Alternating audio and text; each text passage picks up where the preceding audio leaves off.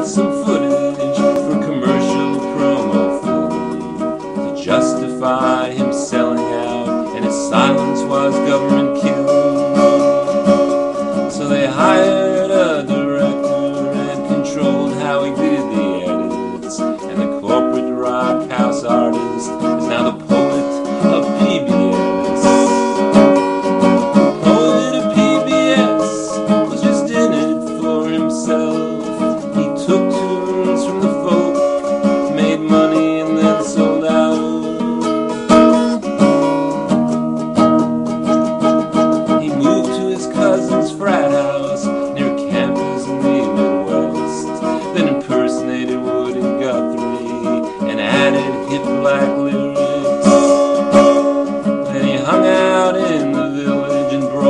guides told him to ride through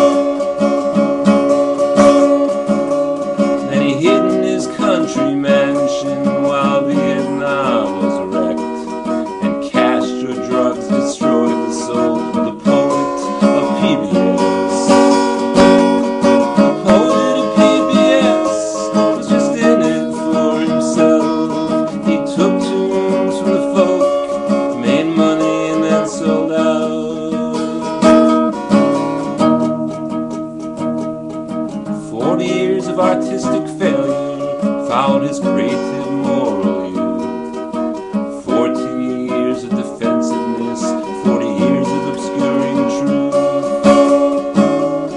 And when his tour is ended and they write his epitaph, they'll say the rebel poet became the poet.